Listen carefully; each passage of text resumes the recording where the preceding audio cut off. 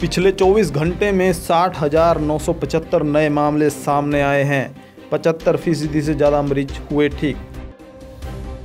सलमान खान के फैंस से ट्विटर पर भिड़े अमाल मलिक, गाली देने वालों को दिया मुँह तोड़ जवाब। कांग्रेस में अंतर्कलह का अभी तक अंत नहीं, सिब्बल ने कहा, मेरे लिए पद नहीं, देश अहम है। पंजाब में कोरोना से 43 और की मौत चार सौ पैंसठ की हालत गंभीर 1516 नए पॉजिटिव मिले।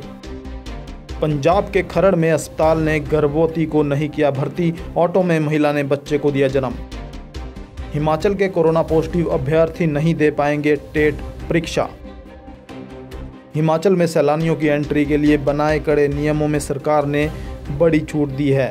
अब सैलानी कोरोना वायरस की रैपिड एंटीबॉडी टेस्ट रिपोर्ट लेकर भी आ सकेंगे ऑक्सफोर्ड के संभावित कोविड 19 टीके के दूसरे चरण का परीक्षण आज से शुरू।